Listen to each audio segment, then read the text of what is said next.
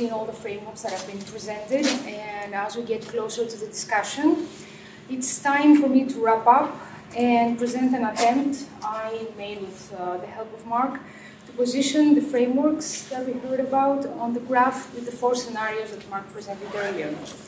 Uh, our goal is to show how we believe that these frameworks position, uh, sorry, relate uh, to each other, and uh, in terms of these axes, particularly uh, in the framework of the Leverhulme network that also Mark talked about. So just a note that this is a preliminary scan. Uh, we, we, conducted this uh, with information uh, we had before uh, this workshop, so your input is much appreciated afterwards. And as a memory refresher, here are the four scenarios.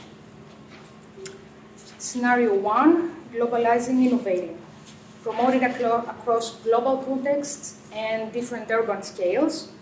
It's not prescriptive and it's managed by an international organization. Next slide. Scenario two, globalizing standardizing. It's an accreditation framework. It sets minimum standards. It's also promoted across global contexts and uh, managed by an international organization and inter inter encourages competition. Next slide, please. Scenario three, localizing and innovating. It's a toolkit for greater sustainability. It outlines a process that encourages local stakeholder engagement. It doesn't prioritize comparability and is promoted by an NGOs that, by an NGO that supports local communities. Slide. Scenario four, localizing and standardizing. It's a certification scheme that sets high-level standards, but it is flexible when it comes to implementation. The success is measured in terms of improvements, and the scheme is managed by a local or regional organization. Next slide. Our preliminary scan showed that the International EcoCity Framework and Standards, the German Sustainability Council Framework, and the Foundation for Sustainable Area Development belong mainly on the first top left quadrant, which represents scenario one. Next slide.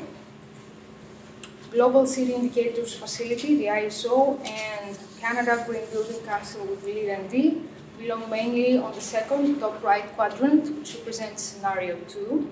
Next slide. One Planet communities, regenerative neighborhoods, eco-districts, Telos Triangle and Community Capital Tool, as well as Corfu neighborhoods.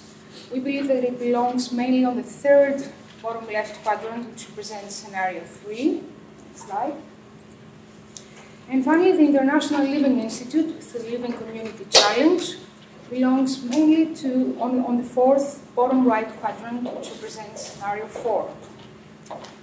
Next slide. So here is a synthesis of our preliminary analysis. And you can find this graph on the fourth and the last uh, page of your background document. Next slide. And after the break, we will discuss questions that you see on the screen Thank you. Great, thanks.